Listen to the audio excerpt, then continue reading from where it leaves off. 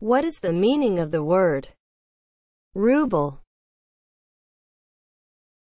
as a noun?